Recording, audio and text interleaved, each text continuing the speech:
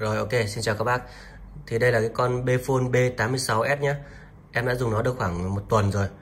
À, cũng có làm mấy cái clip mà so sánh về camera, về quay phim, test game rồi test ờ, pin của nó. Thì à, các bác có thể xem lại ở những cái clip trước nhé. Thì hôm nay sẽ là một cái bài đánh giá tổng thể của con này nhé.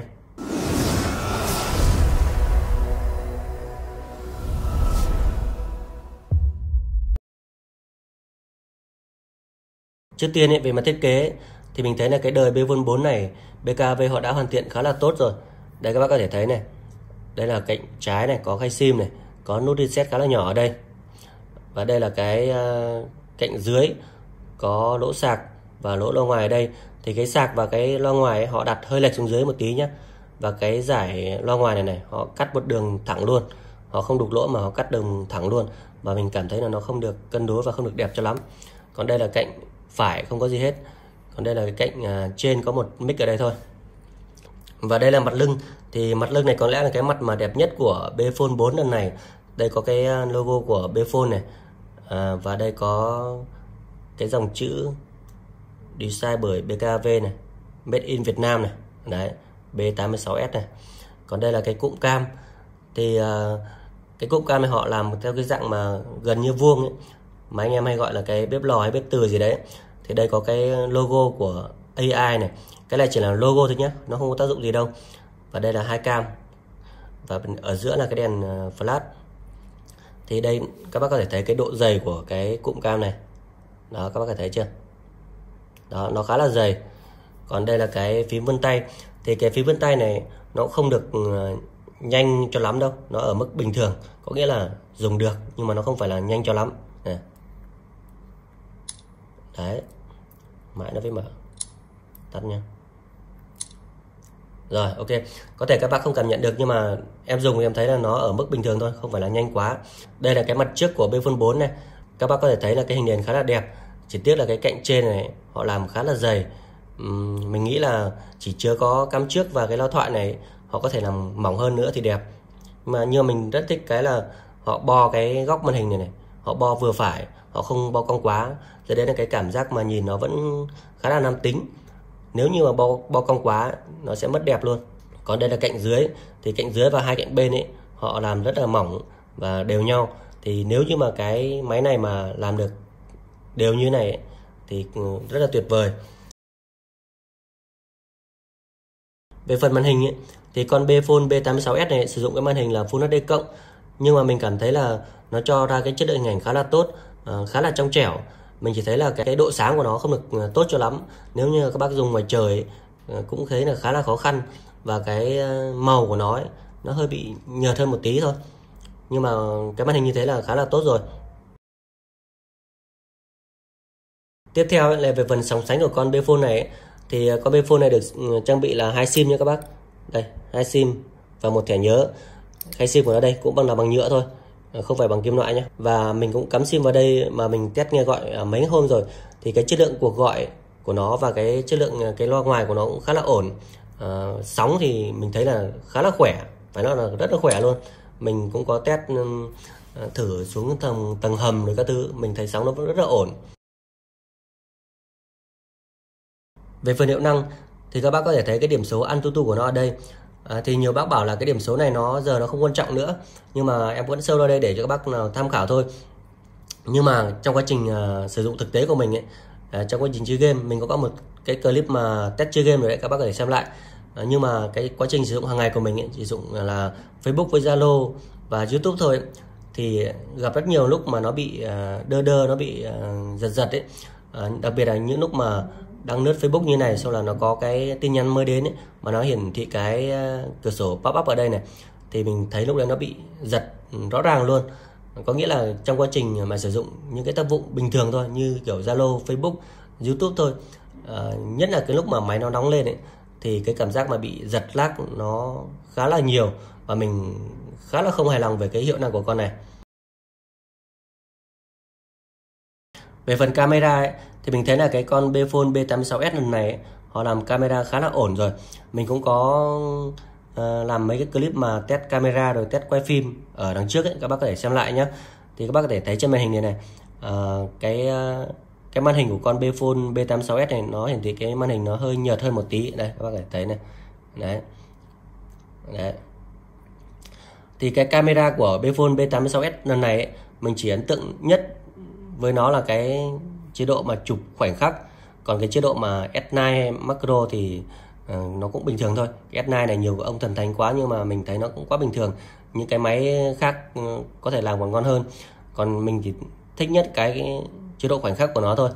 Thì cái chế độ khoảnh khắc này ờ, uh, BKV họ đã làm phần mềm kiểu gì thì cũng không rõ nhưng mà họ sẽ bắt được những cái cái, cái khoảnh khắc mà chuyển động khá là tốt. Đây ví dụ như mình có chụp bằng cái chế độ khoảnh khắc đây. Mình chụp được cái hình ảnh như này này mà mình thấy nó khá là ổn bắt nét rất là tốt. Nhưng mà mình dùng cái máy khác, ví dụ như con V35 chẳng hạn, hoặc những con khác ấy, mà có chỉnh tay ấy, thì ờ, rất là khó bắt được cái khoảnh khắc như này. Và mình phải chụp đi chụp lại, chụp bấm liên tiếp rồi nói chung là phải ngồi mà canh me rồi các thứ, nó rất là lâu mới được hình ảnh nó gần gần như này thôi. Có nghĩa là cái phần chụp ảnh khoảnh khắc trên BKV họ làm khá là ổn. Và hiện tại là mình thấy là chưa có cái máy nào có thể làm tốt như này à, còn sau này thì không không nói nhé. Sau này có thể là những cái hãng khác họ sẽ có thể là cập nhật phần mềm hay làm gì đó có thể họ làm được. Thì hiện tại thì mình đang thấy là con Bphone này họ làm rất là tốt. Về phần chụp đêm của con ờ, Bphone 4 này thì mình thấy nó rất là tệ luôn. À, nếu mà quay phim hay chụp hình vào ban đêm con Bphone 4 này khá là tệ. Và cái cam trước của nó cái cam trước của nó mình đánh giá nó không được ổn cho lắm. Nó cũng bình thường thôi.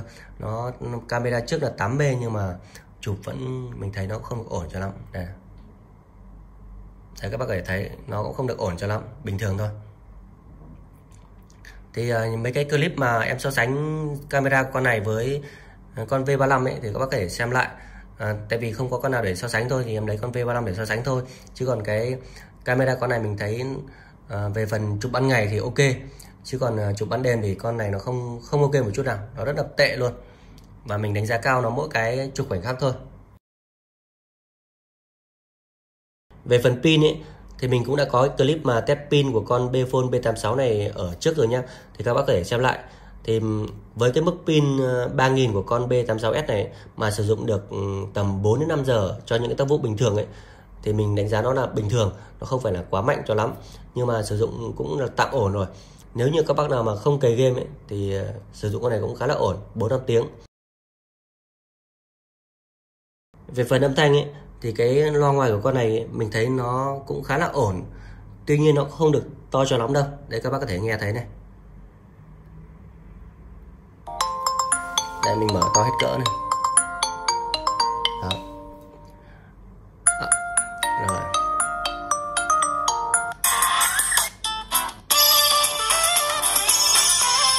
Thì uh, mình sử dụng nó cả tuần rồi mà. Mình thấy là cái loa ngoài của nó ở mức ờ, có thể dùng ổn nhưng mà không phải là to lắm. Còn về cái phần ờ, âm thanh qua tai nghe ấy, thì họ trang bị cho cái máy này cái cổng chuyển đổi từ tai C sang 3.5 ấy. Khi mà cắm vào con ờ, Bphone này các bác có thể thấy là nó ở trên cái thanh trạng thái này nó không hiển thị cái gì đâu. Đấy.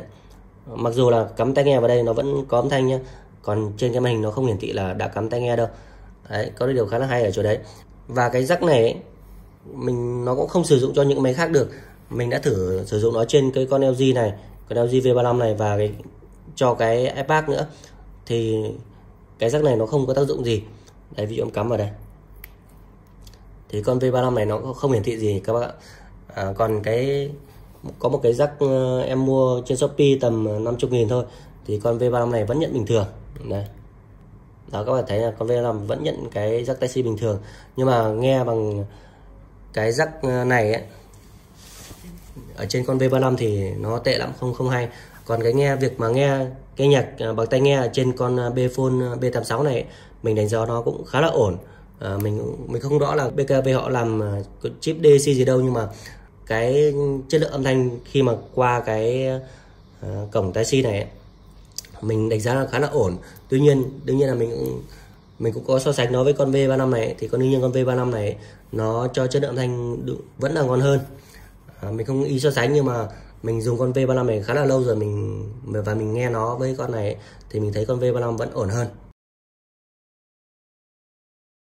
Về cái phần uh, thao tác trên màn hình ấy, thì à, uh, BKV họ quảng cáo cho cái tính năng này rất là nhiều và họ nói là trải nghiệm không giới hạn. Thì uh, mình sử dụng cái những cái tính năng mà vuốt chạm ở trên cái con này ấy, thì mình cảm thấy nó cũng bình thường thôi.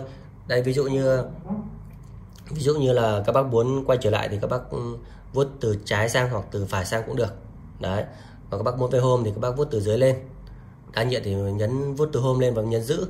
Rồi các bác muốn tắt màn hình ấy, thì các bác à, vuốt sang rồi vuốt lại luôn. Đó. Và các bác muốn chụp màn hình ấy, thì các bác nhấn từ dưới lên. À, cũng về về dưới luôn đó các bạn vuốt lên xong rồi vuốt xuống luôn thì cũng là chụp màn hình. Đấy nhưng mà có thể các bác có thể thấy là cái độ delay của nó khá là nhiều. À, các bác muốn tăng giảm à, độ sáng ấy, đây. Thì các bác nhấn giữ vào cái cạnh à, bên trái này còn tăng giảm âm lượng ấy, các ấn giữ giữ vào cạnh bên phải này. Đấy và các vuốt, vuốt, vuốt lên vuốt xuống. Thì à, những cái thao tác vuốt này các bác chỉ cần cài một cái phần mềm bên thứ ba thôi họ cũng có thể làm được. Đây ví dụ con V35 của em đây. Các bác muốn quay trở lại này thì các bác cũng vuốt lại cũng được này. Đấy vuốt lại cũng được này. Các bác muốn về màn hình home ấy, thì em cài như em vuốt xuống là về home còn em ờ, vuốt lên là về đa nhiệm này. Đó. À, còn uh, chụp màn hình thì trên này nó có cái, mỗi dòng thì nó có cách chụp màn hình khác nhau. Có thể dùng phần mềm để làm được tất cả những cái này. Còn phần mà việc mà cái con Bphone này nó không có phím cứng nào thực ra nó vẫn có một phím cứng như đây. Nó chính là một phím nguồn bình thường thôi. Và ấn giữ lâu thì nó là reset thôi mà VKV họ bảo là không có phím cứng thì ờ, họ đang là hơi bị uh, uh, nổ một tí. Thì đây nó vẫn có một phím cứng nhá. Đó nó vẫn kể tắt nguồn tắt nguồn tắt màn hình được. Rồi nhưng mà có một thực tế là ở những cái thao tác mà các bác muốn làm nhanh ấy ví dụ như là đang tắt màn hình như này mà các bác muốn chụp hình nhanh ấy các bác chụp hình nhanh nhé thường thường những máy có phím cứng ấy các bác ấn ví dụ như con V35 này chẳng hạn các bác chỉ cần ấn nút uh, giảm âm nước hai lần là nó ra cái camera cho mình và mình có thể ấn một phát nữa để chụp luôn. Nhưng mà để mà chụp nhanh như vậy trên cái con ờ, B Phone 4 này hoàn toàn không làm được.